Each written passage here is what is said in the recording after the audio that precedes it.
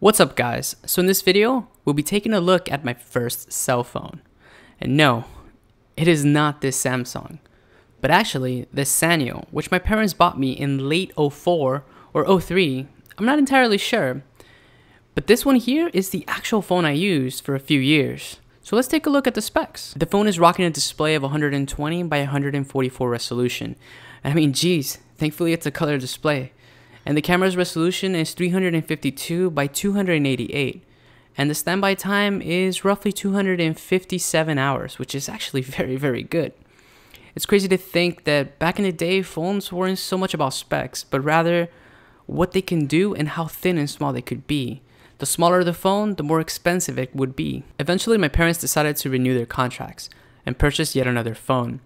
And it was yet another sanyo but this time the phone had no camera I remember being rather upset about this, but I eventually got over it because the camera wasn't all that good to begin with.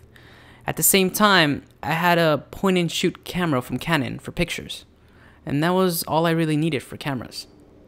This cell phone was mostly the same form factor as the previous gen.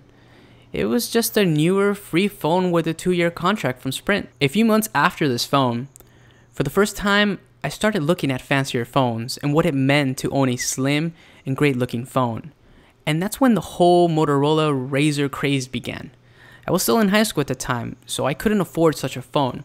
So I ended up buying a thin yet attractive alternative from Samsung. This phone was my first great cell phone, and it looked modern for the time. And the display was a higher resolution with a few more colors, and the resolution was 120 by 160 and it included a VGA camera with a slightly higher resolution. But to be honest, it was mostly about the slim profile and having a relatively small cell phone. The Samsung phone was about the same as my previous Sanyo, but just radically smaller, and that's all I really cared about.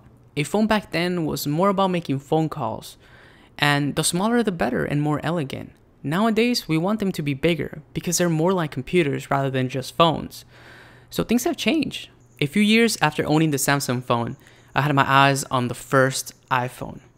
But it was far too expensive. So I waited a year and bought my first smartphone ever, the iPhone 3G, which I bought on release date. I don't have it anymore, but I still have the box.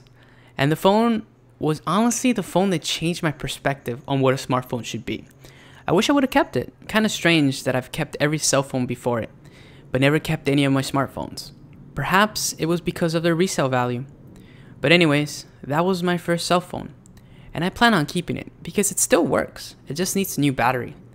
But anyways, thank you guys so much for watching. And if you guys enjoyed the video, be sure to hit that like button.